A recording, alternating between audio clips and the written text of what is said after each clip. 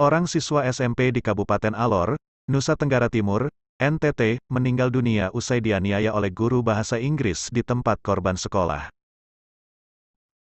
Korban yang berinisial MM itu dianiaya karena tidak mengerjakan pekerjaan rumah, PR.